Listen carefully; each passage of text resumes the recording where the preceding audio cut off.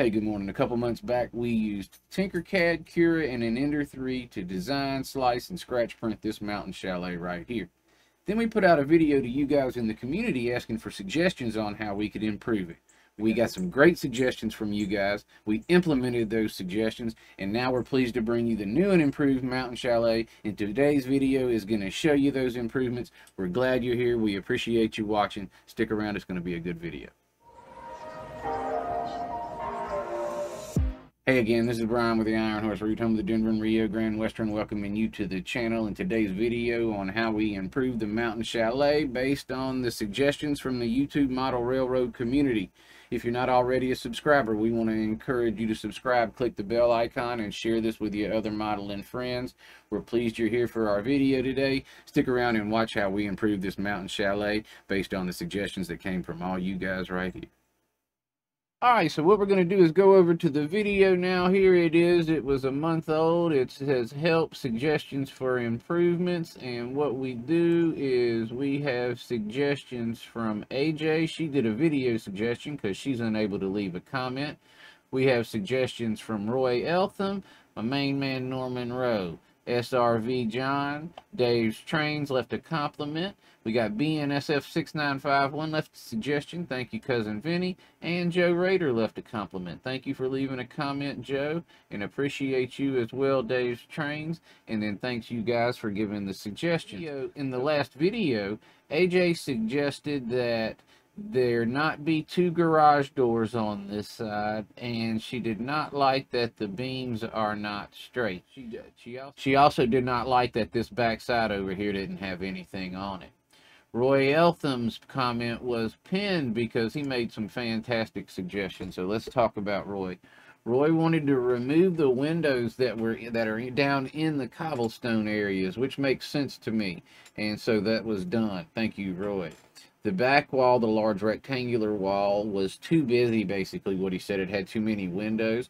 We removed some of the windows. And what he said was, I had a blank wall on the other side, and he said, well, move some of the busyness from the one wall to the other wall. So that's exactly what we did. That also complemented one of AJ's suggestions that she didn't like that nothing was on the back wall.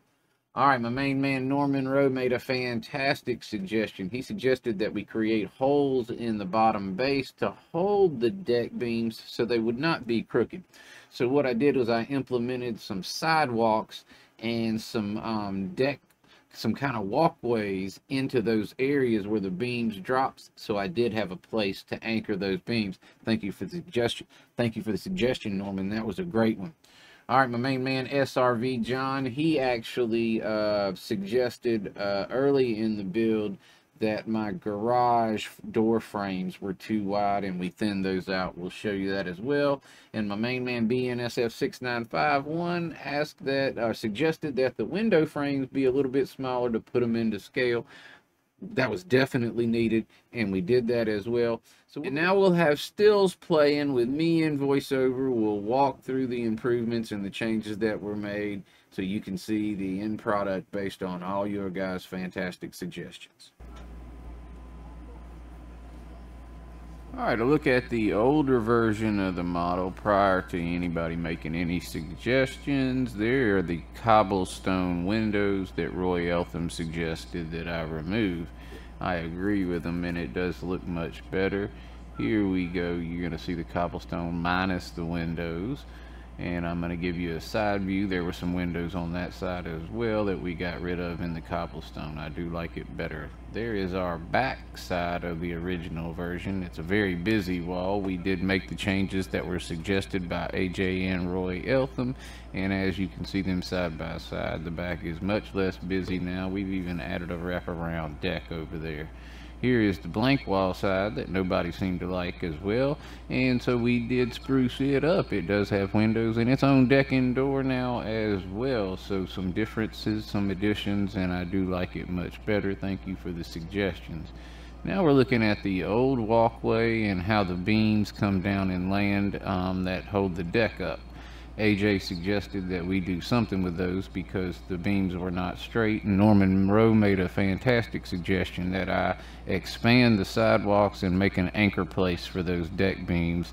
And we certainly did that and they have a place to land now and now they are much straighter and stay much more straight on their own. They're firm and solid. Thank you for the suggestion, Norman. We also have some very fat garage door frames right there. SRV John suggested that we do something about those. And so what I did is I made an indention as and I sunk them in as you can see over there. I made them thinner and I sunk them into the wall so they're not sticking out like they were before. And I do feel like they uh, look much better. Um, in doing that, it made me think about that. I also made a frame for the doors, and that was my addition to the new model. I changed the uh, doors themselves and put a frame around them.